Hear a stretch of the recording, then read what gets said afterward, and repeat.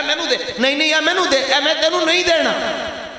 ये बात मुझे समझ नहीं आती थी। ये बात मुझे जाकर समझ आई बगदाद शरीफ में हजूर गौस पाक के कदमों में। क्या बात?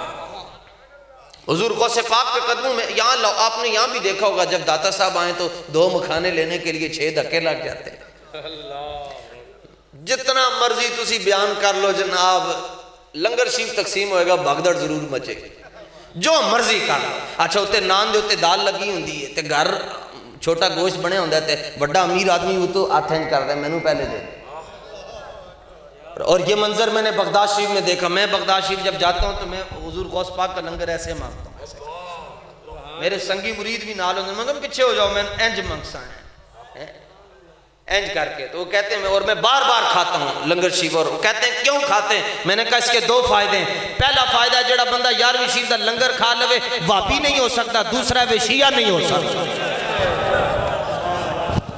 चैलेंज कर पड़ा फलक को दिल जलू से काम नहीं। काट के ना रख दें तो फिर मुमताज़ नाम नहीं। क्या बात? क्या बात?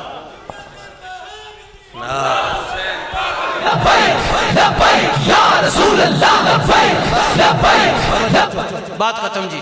अब उस बंदे को और वो बड़ा डिसेंट आदमी होता है जो लंगर के लिए ऐसे कर रहा था उसको कहते हैं आज तो घर में मटन पका हुआ है और यहाँ एक नान के लिए धक्के क्यों दे रहे हो? कहता मजबूरी है कि नस्बत शहनशाह बगदाद से हो गई है। और हजूर सैदी आला हज़रत के सामने अगर ग्यारहवीं शीफ के चावल मुबारक का दाना ज़मीन पर आ जाता था तो आप ज़ुबान से उठाते थे। ज़ुबान से उठाते थे। इमाम अहमद रजा की बात कर रहा हूँ। सिर्फ़ किसी ने इतना कह दिया कि मौलवी ने कह दिया जी नबी पाक इस्लाम की चादर मुबारक मैली थी आपने फरमाया काफिर हो गया। उसने कहा जी हदीस में आता है कि चादर पर मिट्टी लगी हुई थी। फरमाया मिट्टी लगी हुई है ना कब्र मैलियाँ थोड़ी हुई हैं। फरमाया कबर मिट्टी दी हुई तो मिट्टी जिथे लगी हुई हर शायद मैली तो नहीं होंगी उन्होंने कहा, फिर तर्जमा किमें करेंगे? मैं, अगर खुदा तोफी के अदब दे तो ये नहीं कहेंगे चादर मैली थी, बल्कि ये कहेंगे कि मट्टी ने, दामने रहमत में पना ली हुई थी। ये दीन नहीं ना पता तो फिर जाके बैठो। दी इकबाल खुद कहता है दीन नगर दत पुख्ता बे आदाब इश्क दी बगीर सोबत अरबाब इश्क। इकबाल कहता है दीन हासिल करने तो फिर तेन प्रोफेसर को जान की लोड़ नहीं है फिर तेन बाबे खादिम को जाना पैना फिर दाता अली हजवेरी को जाना पैना फिर जोहतुल अंबिया के कदम जाके सलूट पेश करना पैना क्या बात? अब वो अब जब नस्बत शहनशाह बगदाद के साथ हो जाए तो लोग इतनी लड़ाइयाँ करते हैं तो जिस पानी की नस्बत हजूर से हो जाए क्या हाल होगा? यहाँ पर एक मौलवी साहब उनको ना दर्द कुलंज हो गया।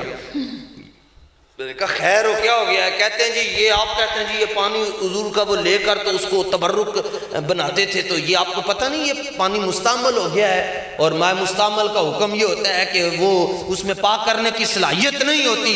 तो ये किस तरह, ये तो पानी पाक नहीं है तो इससे बरकत कैसे हासिल हो सकती है? मैं क्या दर बेटे मुँह अल्लाह। तेरे उत्ते अस्सी हज़ार ते बल्कि अस्सी खरब ते चाली करोड़ ते नब्बे हज़ार ते पाँच सौ चौरासी मरतबा लाम भी हो आइन भी हो नून भी हो ता भी हो तेरे उत्ते तेन मसला ही नहीं समझ आया। बेशक। कहते हैं कैसे हो? मैं क्या असी वुजू करते हैं? असी पाक होंगे हुजूर वुजू फरमाते से पानी मजीद पाक हो जाता जिनके तलवों का धोवन है आपे हया है वो जाने मसीहा हमारा नबी और जिसकी दो बूंद कौसरो सलसबील है वो रहमत का दरिया हमारा नबी। बचा जो उनको, हो हो हो तोबा तोबा। गल की थी आला हज़रत ने। आला हज़रत फरमाने देखो मस्जिद शरीफ कितनी सोहनी है जनाब। ये कितना रंग एक कम होया जनाब ये देते।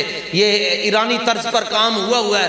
तो इस मस्जिद को बनाया गया, संवारा गया, सुथरा किया गया। आला हज़रत फरमाते हैं, तुम्हें पता है जन्नत को कैसे संवारा गया? वो कहने लगा, जी नहीं। आप फरमाया, मैं तुम्हें बताता हूँ जन्नत में किसका पेंट हुआ है? क्या बात जन्नत में रंग कौन सी कंपनी का हुआ है? पेंट कैसे हुआ है? जन्नत इतनी सोनी कि बंदा सोच भी नहीं सकता कितनी सोनी होगी लेकिन हम उस जन्नत की बातें नहीं करते जिसमें हुरे हैं। हम उस जन्नत की बात करते हैं जिसमें रसूलुल्लाह है। तो आप आला हज़रत फरमाते हैं, बचा जो उनके तलवों का धोवन। हजूर धोवन।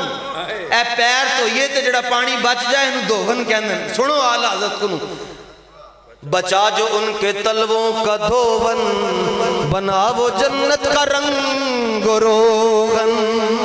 जिन्होंने धूल्हा की पाई उतरन वो फूल गुलजार नूर के थे। और वही तो अब तक छलक रहा है वही टपक रहा है। नहाने में जो गिरा था पानी, कटोरे तारों ने भर लिए थे।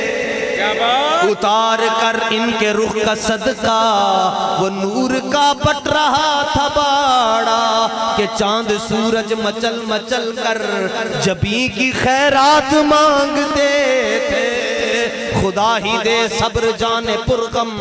दिखाऊँ क्यों कर तुझे वो आलम? जब उनको झुरमुट में लेके कुदसी, जिना का दूल्हा बना रहे। क्या बात?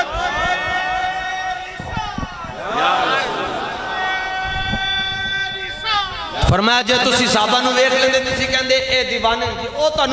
वेख लेंगे उन्होंने कहना सी ਉਹਨਾਂ ਨੇ ਕਹਿਣਾ ਸੀ ਕਾਫਰ ਹਨ ਕਿਉਂ ਕਲਮਾ ਪੜਨ दलील ਬਾਅਦ ਮਿਲਾਦ ਤੇ कलमा पढ़न तो बाद इलमे गैब से दलील मंगता है। कलमा पढ़न तो बाद हजूर तो के हाजर नाजर होने दलील मंगता है।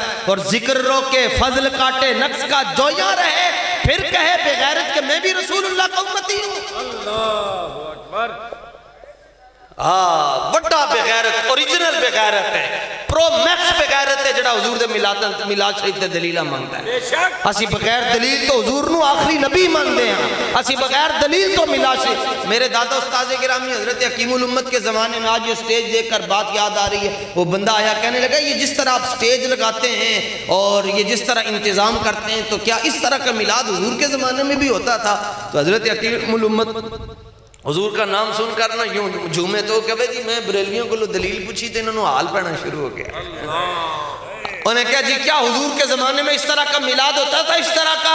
आपने फरमाया ए जमाना कोई तेरे प्यो दे फरमाया वो मौलाना अहमद रजा की गल नहीं सुनी जमीनो जमा तुम्हारे लिए मकीनो मकान तुम्हारे लिए चुनीनो चुना तुम्हारे लिए बने दो जहां तुम्हारे क्या बात फरमाया ये भी तो रसूलुल्लाह के जमाने का है बेशक बेशक ਪਿਆਰ ਕਰਨਾ ਜੀ ਹਜ਼ੂਰ ਦੇ ਨਾਲ ਬਾਕੀ ਹਾਲਾਤ ਹਾਂ ਔਰ ਅੰਨੇ ਵਾਹ ਕਰਨਾ ਹੈ ਹਾਲਾਤ ਹਜ਼ਰਤ ਦੇ ਹਵਾਲੇ ਨਾਲ ਹਜ਼ਰਤ ਕਿਬਲਾ ਨੇ ਆਪ ਨੂੰ ਦੱਸ ਛੱਡਿਆ ਜੋ ਕੁਝ ਵੈਸੇ ਕੱਲ ਪਰਸੋਂ ਰਾਤ ਇਹਨਾਂ ਨੇ ਕੀਤਾ ਹੈ ਉਹ ਅਗਰ ਮੈਨੂੰ ਕੋਈ ਪੁੱਛੇ ਜੀ ਤੁਸੀਂ ਯਜ਼ੀਦ ਵੇਖਿਆ ਤੇ ਮੈਂ ਤਾਂ ਕਹਾਂਗਾ ਅਸੀਂ ਤੇ ਵੇਖਿਆ ਹਾਂ ਅਸੀਂ ਤੇ ਵੇਖਿਆ ਆਪਣੇ ਜ਼ਮਾਨੇ ਦੇ ਅੰਦਰ ਇਮਰਾਨ ਖਾਨ ਨੂੰ ਕਿ ਉਹ ਉਹਨੇ ਉਹ ਕੰਮ ਕੀਤੇ ਜੀ ਜਿਹੜੇ ਕੋਈ ख्वाब ਦੇ ਅੰਦਰ ਵੀ ਨਹੀਂ ਸੋਚ ਸਕਦਾ तो और मैं बस सिर्फ एक बात मैं बता रहा हूँ ये मस्जिद शरीफ के साय में बैठ कर यानी होता है ना जी उस्ताद जी बंदे कहते हैं जी ये चूँकि टी एल पी दा ते तां इन दी गल कर रहे नहीं मैं आपको बिल्कुल क्लियर बात बताता हूँ कलमे शरीफ की कसम है एक सूत्र भी साडा जुलूस सज्जे खब्बे नहीं होया बिल्कुल सीधा जा रहा है बिल्कुल सीधा जा रहे हैं और किसी के खिलाफ कोई नारा नहीं लग गया सिर्फ हजूर के नारे लग गए सी ਬਸ ਇੰਜ ਇਹ ਜਿਵੇਂ ਤੁਸੀਂ ਬੈਠੇ ਹੋ ਘਰੋਂ ਤੁਸੀਂ ਮਹਿਫਿਲ ਮਹਿਫਿਲ ਮਿਲਾਦ ਸ਼ਰੀਫ ਦਾ ਸੋਚ ਕੇ ਆਇਓ ਤੇ ਅਚਾਨਕ ਇੱਥੋਂ ਸ਼ੈਲ ਆ ਕੇ ਡਿੱਗੇ ਤੁਹਾਡੇ ਤੇ ਤੋਤੇ ਉੜ ਜਾਣਗੇ ਇਹ ਕੀ ਹੋ ਗਿਆ ਯਾਰ ਇੰਜ ਹੀ ਹੋਇਆ ਨੇ ਸਾਰੀ ਕਿਆਦਤ ਮੁਸਕਰਾ ਰਹੀ ਸੀ ਔਰ ਇਧਰੋਂ ਸ਼ੈਲ ਆਇਆ ਇਧਰੋਂ ਆਇਆ और इस बारी इन्होंने जो नवा काम किया मैं तुम्हें दसा इस बारी इन्होंने खाली गोलियाँ नहीं मारिया। बंदे लैके जाते सन अगे तो जोड़ा बंदा फड़ लेंगे सन उन्होंने लिटा के उन्होंने छुरी मारते सन। तस्वीर भी देख ये हजूर गो तुम सारे धरने अटेंड किए हैं गोलियाँ के निशान नहीं ने? हाँ और चूँकि हमारे इदारों को इन्होंने ग्लव्स दे दिए हुए हैं ग्लव्स के ऊपर ब्लेड लगे होते हैं बड़े बड़े ब्लेड तो जब किसी को पकड़ते हैं ना तो बंदा छुड़ाने की कोशिश करता है तो वो यूँ नुकसान हो जाता है तो इन्होंने वो ब्लेड भी मारे ਤੇ ਉਹ- ਔਰ ਇਹ ਬਲੇਡ ਨਹੀਂ ਛੋਟੇ ਛੋਟੇ ਵੱਡੇ ਉਹਨਾਂ ਦੇ ਬਲੇਡ ਇੰਜ ਬਲੇਡ ਮਾਰਦੇ ਸਨ ਫਿਰ ਇੱਥੇ ਇਹ ਦਿਲ ਦਿਲ ਦੇ ਉੱਤੇ ਮਾਰ ਕੇ ਤੇ ਫਿਰ ਕਹਿੰਦੇ ਸਨ ਚੱਲ ਤੈਨੂੰ ਤੂੰ ਵਾਪਸ ਜਾ ਤੇ ਜਦੋਂ ਬੰਦਾ ਵਾਪਸ ਆਂਦਾ ਸੀ ਉਹਨੂੰ ਪਿੱਛੋਂ ਗੋਲੀ ਮਾਰ ਛੱਡਦੇ ਸੀ तो ਅਸੀਂ ਕੁਝ ਵੀ ਨਹੀਂ ਕਹਿ ਸਕਦੇ ਬਸ ਅਸੀਂ ਕਹਿੰਦੇ ਯਾ ਅੱਲਾ ਜਿਨ੍ਹਾਂ ਨੇ ਕੀਤਾ ਤੂੰ ਉਹਨਾਂ ਨੂੰ ਜਾਣਦਾ ਹੈ ਔਰ ਤੂੰ ਉਹਨਾਂ ਨੂੰ ਸਾਡੀਆਂ ਅੱਖਾਂ ਦੇ ਸਾਹਮਣੇ ਗਰਕ ਫਰਮਾ ਛੱਡ ਬੜੀ ਹੋ ਗਈ ਜਨਾਜ਼ੇ ਪੜ ਪੜ ਕੇ ਜੀ ਬੜੀ ਹੋ ਗਈ ਜਨਾਬ ਅਸੀਂ ਯਾ ਅੱਲਾ ਤੈਨੂੰ ਤੇਰੀ ਵਹਦਾਨੀਅਤ ਦਾ ਵਾਸਤਾ ਹੈ ਕਹਾਰੀਅਤ ਔਰ ਜਬਾਰੀਅਤ ਦਾ ਵਾਸਤਾ ਹੈ ਜਿਨ੍ਹਾਂ ਜਿਨ੍ਹਾਂ ਨੇ ਇਹ ਕੰਮ ਜਿਹੜਾ ਜਿਹੜਾ ਵੀ ਮੁਲਵਸ ਹੈ ਉਹਨੂੰ ਸਾਡੀਆਂ ਅੱਖਾਂ ਦੇ ਸਾਹਮਣੇ ਜ਼ਲੀਲ ਫਰਮਾ ਛੱਡ ਔਰ ਤੈਨੂੰ ਅਮੀਰ ਹਮਜ਼ਾ ਦੀ ਸ਼ੁਜਾਅਤ ਦਾ ਵਾਸਤਾ ਤਹਰੀਕ ਲਬੈਕ ਦਾ ਬੋਲ ਬਾਲਾ ਫਰਮਾ हो सकता है मुश्किल वक्त आ जाए। मैं लिस्टा बना रहे हैं दोबारा। हो सकता है मुश्किल वक्त आए। घबराना नहीं। बस ओ अमीर खुसरो हज़रत निज़ामुद्दीन औलियाद मुरीद भी हैं तो खलीफा भी हैं तो उन्होंने पूछा उस्ताद जी ये जड़े लोग मुहब्बत करते हैं इन्होंने उत्ते आजमाइश क्यों आती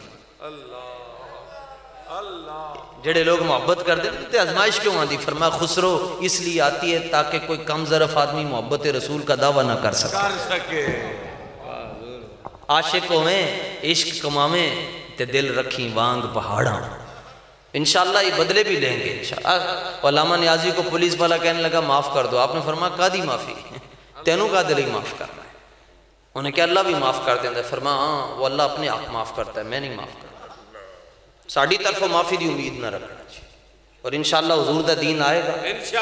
आएगा जी। आप क्यों नहीं आएगा हजूर का दीन तख्त आना ही आना। मेहनत करो तुम बाकी साई फजल फरमा छड़न छड़नगे। अल्लाह तला साड़ी हाजरी अपनी बारगाह के अंदर कबूल और मंजूर फरमाए। आखिर दावा याद अलहमदुल्ला